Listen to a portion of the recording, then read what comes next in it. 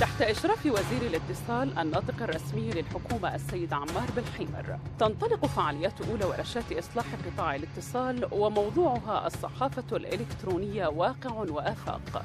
ينشطها كل الفاعلين في مجال الإعلام الرقمي.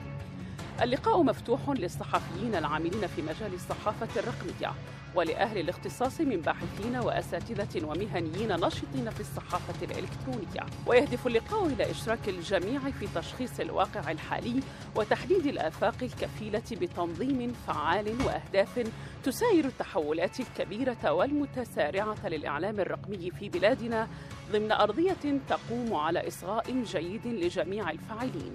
يثري المشروع التمهيدي الذي ستقدمه وزارة الاتصال خلال هذا اللقاء مما سيفضي إلى إعداد وثيقة مرجعية قانونية أولى للصحافة الإلكترونية في الجزائر. هذه الورشة التفاعلية الأولى تحتضنها المدرسة العليا لعلوم الإعلام والاتصال بجامعة الجزائر ثلاثة يوم الخميس القادم العشرين فيفري الجاري ابتداء من الساعة التاسعة والنصف صباحا بمدرج نيلسون مانديلا.